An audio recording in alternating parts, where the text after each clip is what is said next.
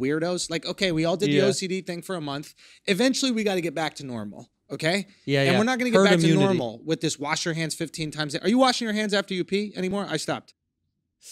To be real with you, I never wash my hands after I piss. I, ne- I During, never have. be honest, right when it hit, right when it hit, you Swear still didn't?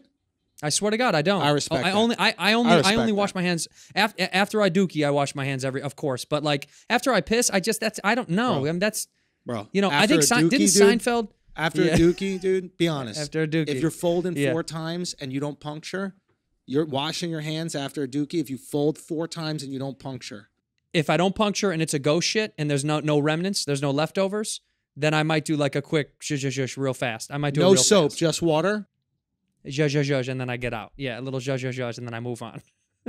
Will you it. ever? Will you ever? I mean, how conf? This is gonna. This is gonna talk about confidence. How confident are you? Will you ever shit and be like, I'm so confident that's a ghost shit. I'm not even gonna wipe. I'm gonna put my underwear and pants on and then go about the rest of my day. Have you have you ever been that you seem like a confident man, Santino? Do There's you have that level of confidence? There's a couple of days, bro, where I take such a smooth, clean ghost shit that I get up, I get up, and I walk away, and I leave it, knowing it's gonna ghost away into the toilet. I don't even hit the. I don't let it. I, I let it go away on its own. Need to flush I'm not flushing it. I don't even flush it. I I know it's gonna disappear when I come home. Someone better take care of it.